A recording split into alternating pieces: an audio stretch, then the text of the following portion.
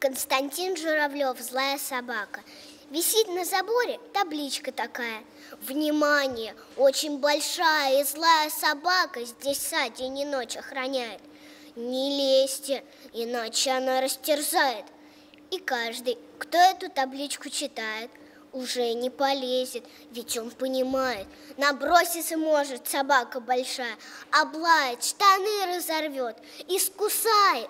В саду за калиткой и вправду цепная лежала собака, большая-большая, лохматая, страшная очень. Однако была очень добрая большая собака. Собака мечтала, чтоб с ней поиграли, чтоб ласково за ухом ей потрепали, чтоб сняли ошейник, побегать пустили, чтоб в дом в непогоду ее пригласили, чтоб дети к ней на спину смело взбирались, верхом на собаке по саду катались, и чтобы на речку купаться позвали, чтоб щетку шерсть у нее причесая. Когда подходили, собака вставала, не лаяла вовсе, хвостом лишь виляла – но люди смотрели, табличку читали и сразу стремглав от нее убегали.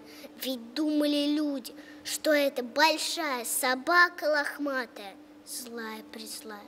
Страдала бедняга, не зная, в чем дело. Большая собака читать не умела.